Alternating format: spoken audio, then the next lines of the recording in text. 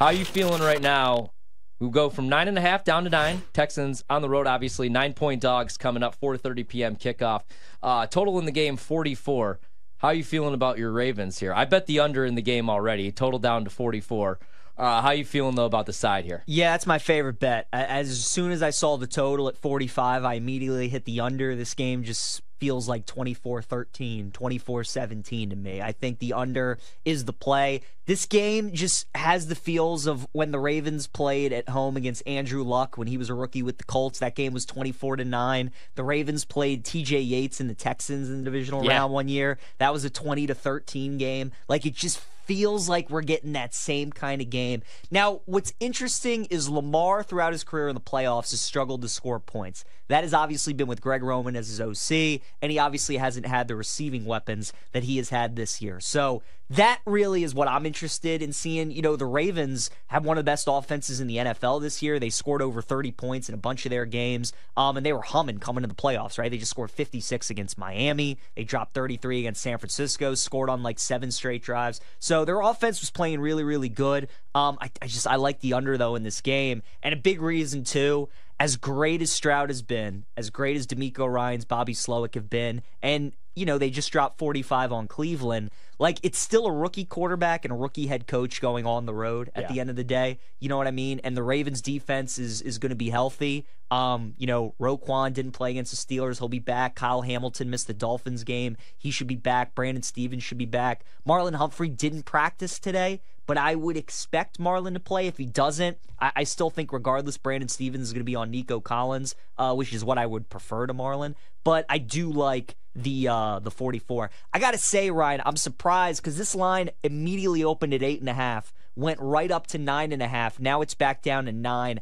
I am a little surprised by that just because of the teaser, yeah. right? I thought obviously you keep it at nine and a half. The teaser goes to three and a half. You bring it down nine, then it's at three. That's why it went up from eight and a half because of the teasers at two and a half. You knew everybody would be on that. Um, so I do think this goes back up to nine and a half. The line feels about right. I mean, I could see the Ravens winning by 11. I could see them winning by eight. I could see them winning by four, by seven, 14. Yeah. I, I just, I think the under's the play. As for player props, man, just because we like the under, I feel like you got to look at both field goal kickers. I mean, Justin Tucker over one and a half field goals. It is minus 130. I would lay that juice. Fairbairn even is plus 135.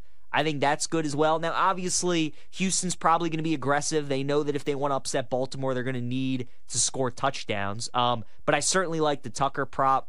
It's tough to know who's going to be the guy for the Ravens to target and props. You know, OBJ has been great really the last like 6 7 games of the regular season and he's always good in the in the bright lights. So 32 and a half for him. I think that's a great bet. Nico Collins who was awesome for the uh for the Texans in that game against the Browns. 78 and a half feels a little too high. I think I kind of like his under for props. Um, Dalton Schultz would be the guy that I would target. The Ravens, the way you attack them is kind of over the middle of the field. So I think Schultz at 35 and a half could be a good look. Zay Flowers, his receiving numbers are always at 50 and a half. Like feels about right for Zay. Going to be also interesting to watch what Baltimore does on the ground because yep. they have not rushed Gus as much as you maybe would have thought they would, especially ever since Keaton Mitchell went down. Justice Hill has been kind of a receiving running back for them. He's been great all purpose. He returns kicks for them as well. And then obviously they just picked up Dalvin Cook too. So like does he start to get some carries? And they've done a great job of saving Lamar all season, not running him as much for the playoffs. So, do they start to kind of unleash him a little bit, especially when you're going up against a Texans team that's already seen you once this year, all the way back in week one? Yeah. Lamar didn't run a whole lot in that game. So, do you use Lamar's legs just to give the defense uh, something else to think about? But the props that stick out to me are Tucker over field goals and OBJ over receiving yards. Love the Tucker field goals look, and I'm probably going to be with you on OBJ.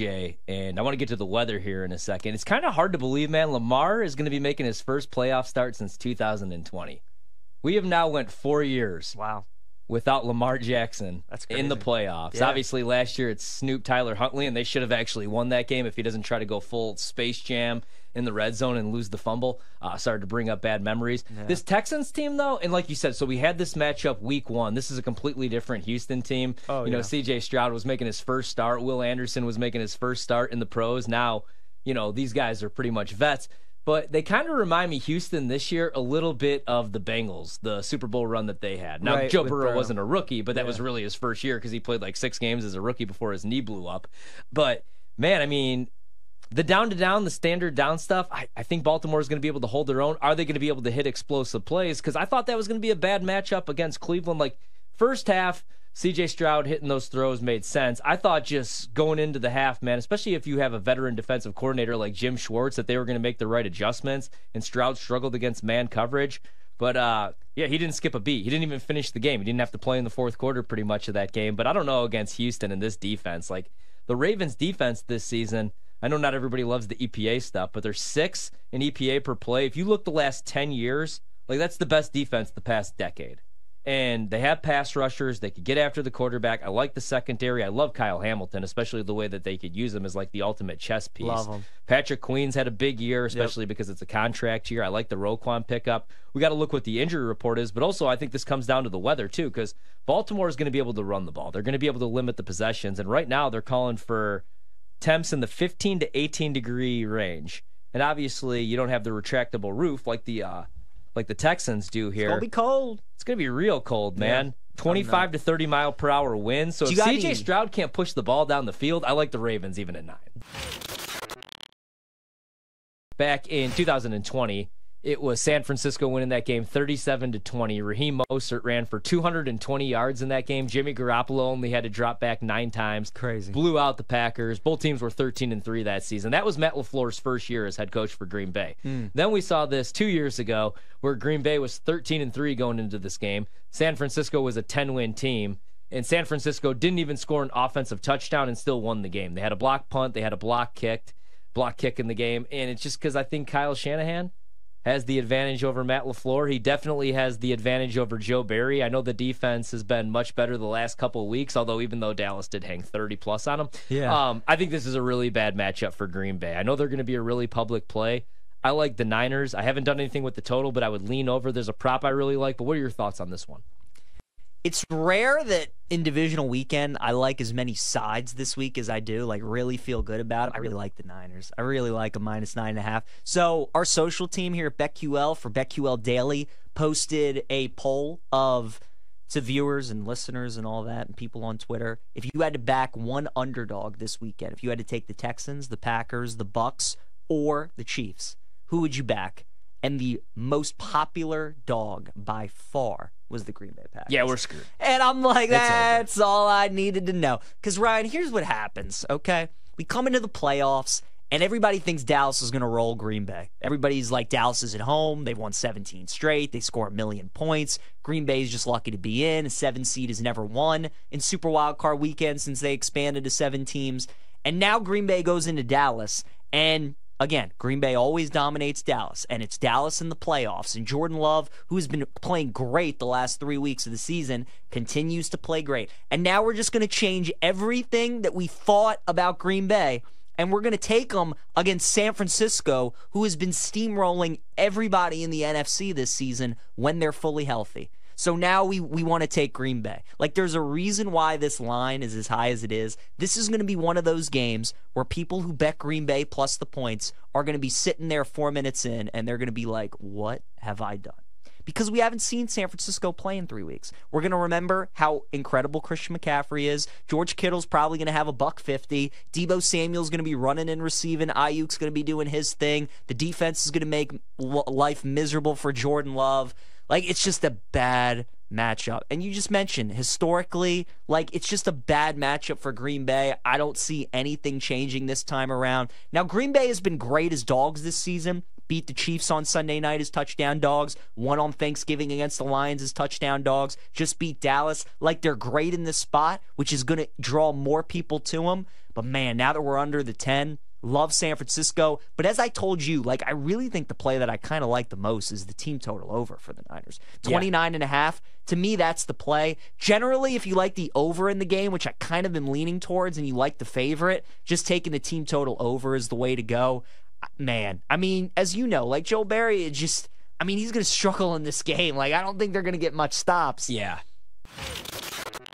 I think the Dolphins' offense is a concern. Great, you can score 70 points against the Broncos when they were a disaster earlier in the year. Great, you can put 40 on the Panthers. You can score a bunch on the Giants and the Jets. Awesome. New England, fantastic.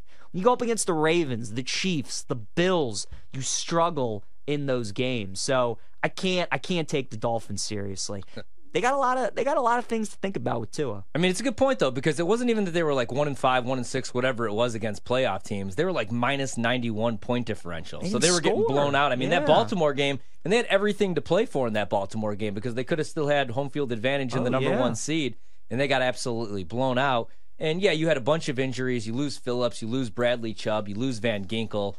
But still, man, I mean, the offensive side of the ball was the issue in this game. They couldn't get the run game going even against Kansas City, and that's their weakness. Tua, 25 yards uh, running, unfortunately, rushing. But after that, it was Raheem Mostert had eight carries only for 33 yards. Achane wasn't able to get anything going. Six carries for only nine yards. Yeah. You know, they had an end around with uh, a jet sweep with Jaylen Waddle, where he had uh, carry for nine yards, but they couldn't get anything going on the ground. Tua wasn't very good. I don't think Tua is the guy. I actually am. Mo- I'm more sold that Mike McDaniel is a good head coach, although the play calls were not great against Kansas City. I'm not sold on Tua. That's fair.